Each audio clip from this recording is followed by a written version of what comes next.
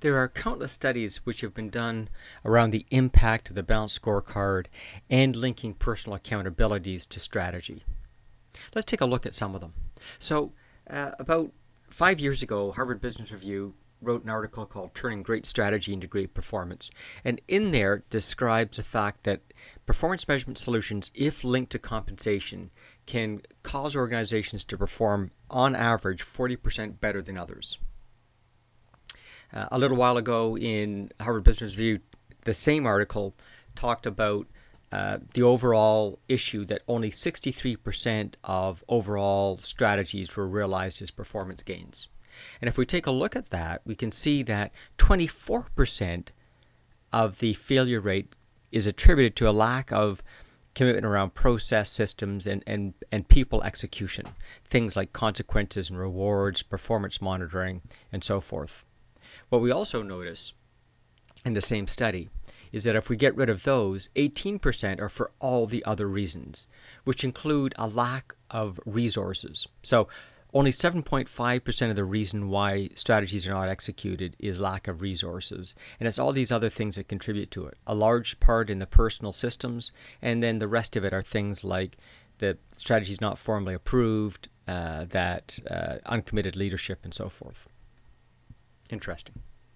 If we take a look at the uh, 2004 study uh, sponsored by Corporate Leadership Council, they're looking for the business case for performance management. And if you take a look at the things which influence performance management, they're things like uh, fairness and accuracy of informal feedback. Again, part of the personal review system.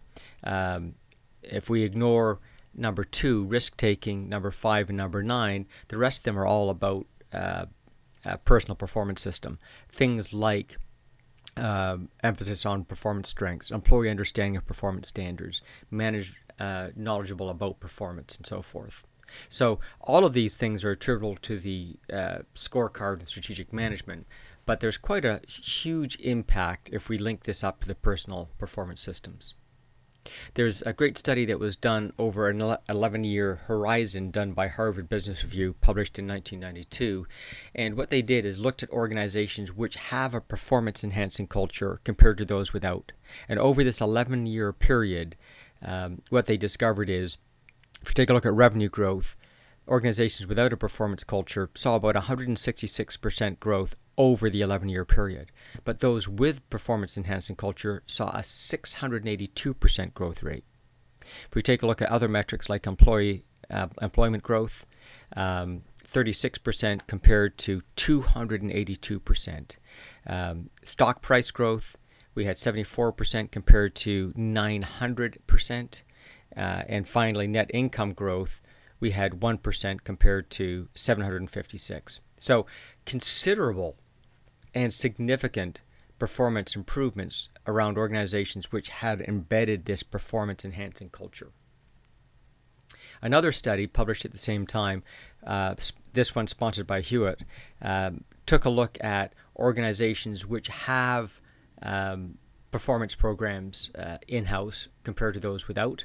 Uh, and if we took a look at metrics like return on equity, 4.4 compared to 10.2, net assets double return on assets, uh, almost double return on net cash flow ROI, and finally uh, significantly improved uh, performance sales per employee.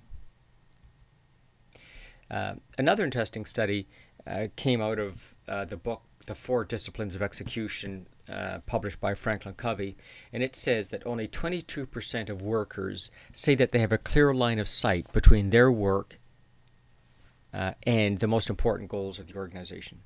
22%, which means 78% don't have a clue as to the relationship between what they do and organization success. So, what we have also learned is if we can take an employee and develop their understanding of their roles and responsibilities, we can see that that increases performance by about 36%. What that means is that simple education of helping people understand the connection has a huge payback, and that's based on a study done by the Corporate Leadership Council. Um, a great article uh, that we talked about before, turning uh, great strategy into great performance. If we take a look at the performance loss elements, you can see that a huge component of them is attributable to benefits that the scorecard should be offering. But if we take a look at the, the personal accountability structure, that still works out to almost 20% of the performance gap.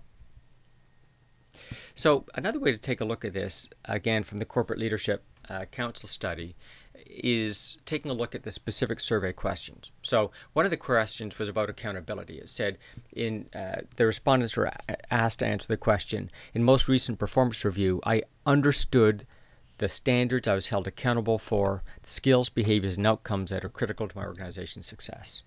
And what we saw is only 43% agreed or strongly agreed, and uh, sorry, 41%, and 59% said that they somewhat agree, neutral, or disagree. So, what that means is 60% of the employees said that they did not understand what behaviors and outcomes that they were accountable for that were critical for the organization's success. Uh, they were asked in a second question about standards, and again, the question was in my most recent performance review, I understood the standards I was evaluated on. And what we discovered is uh, over 57% said that they don't really know what standards they're evaluated on. So 59% and 57% is a clear indication that most employees don't understand what they should be doing and how it links to overall success.